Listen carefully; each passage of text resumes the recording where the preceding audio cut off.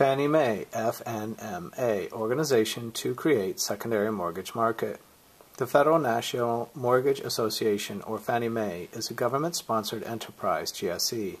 A GSE is a congressionally chartered, shareholder owned corporation. Fannie Mae's mission is to create and maintain a secondary market for mortgages.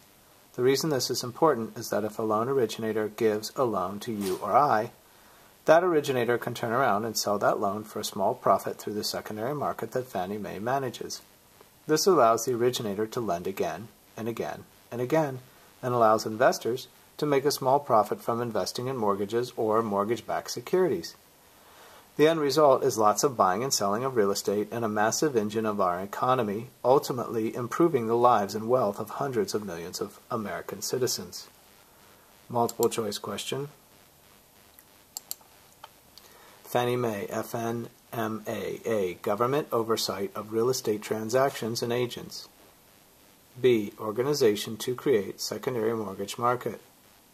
C. Loan originator you or I might go to for a first trust deed. D. Thing of value offered in a contract. Well, the best answer choice in this case for Fannie Mae is B as in boy, organization to create secondary mortgage market.